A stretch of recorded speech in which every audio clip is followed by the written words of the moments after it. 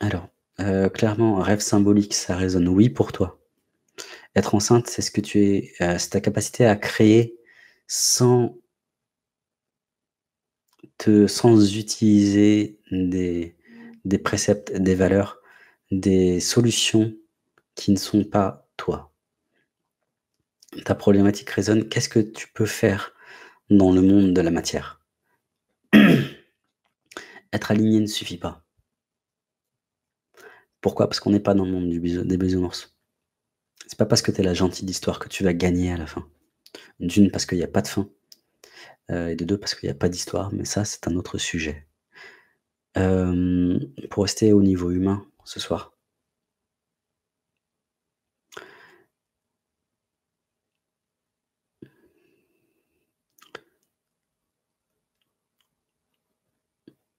le processus créatif vient de toi, part de toi.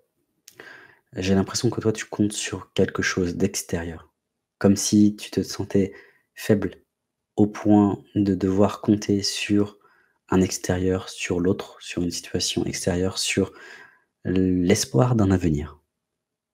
Voilà ce que ça résonne pour toi. Tout ça résonne non-confiance. Tout ça résonne ouais, non-confiance.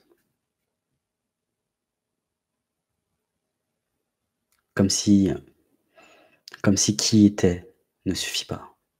Qui je suis ne suffit pas, parce que je ne suis pas assez, parce que je vois le verre à moitié vide pour moi. Comme si je me sentais à demi là, en présence d'une personne. Tu grandis les autres, pour toi les autres sont grands, pas parce qu'ils sont effectivement grands, mais parce que tu te rapetissis. Et la symbolique de ton rêve est très intéressante. En tout cas pour ta problématique financière.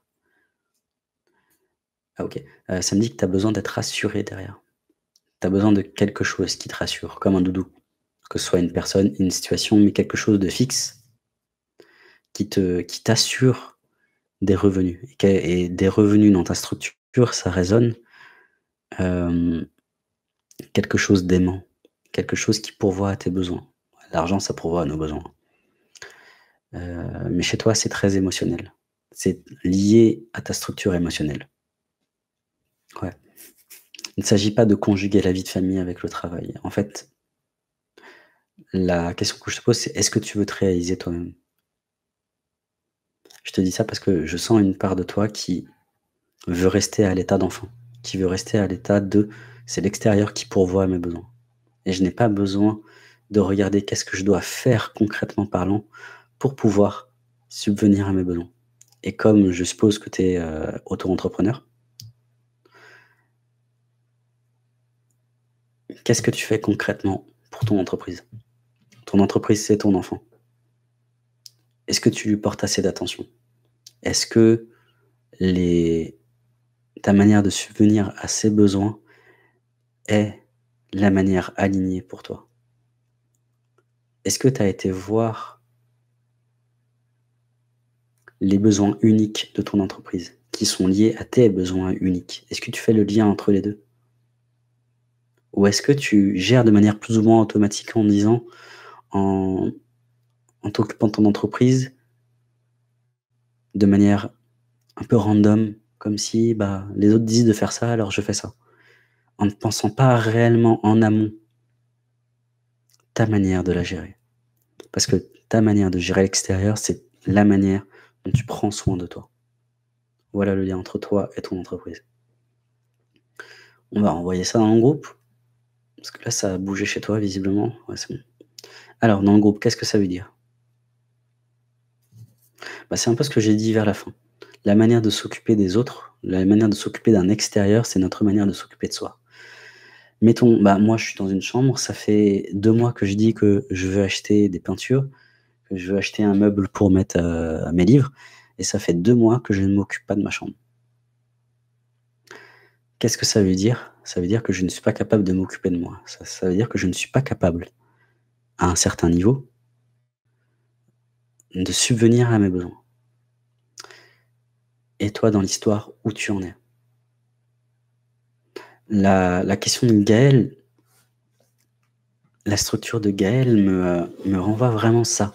Regardez les situations à l'extérieur que vous faites, que vous mettez de côté plus ou moins sciemment, plus ou moins inconsciemment et allez dedans.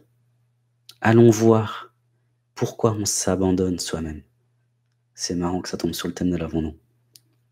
Après ma vidéo, heu, après ma vidéo, heu, vlog sur ma motivation à ma vraie motivation pour, accompagner les gens. Allez la voir, elle est vraiment géniale. Donc ouais.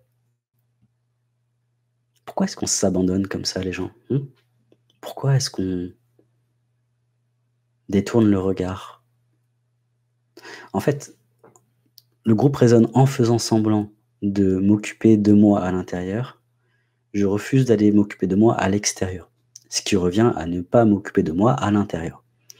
Parce qu'il y a des sujets, des parts de soi, des besoins, hem, des fonctionnements inconscients qu'on ne pourra jamais voir si on ne va pas les contempler grâce à la matière, grâce à des situations, grâce au relationnel, grâce à comment je décore cette chambre. On pourra pas le faire sans l'extérieur. Donc arrêtons de nier arrêtons de nier l'extérieur. Et à partir du moment où on arrête de nier l'extérieur, on arrête de se nier soi-même à l'intérieur. Merci Gaël pour ta question, elle était cool.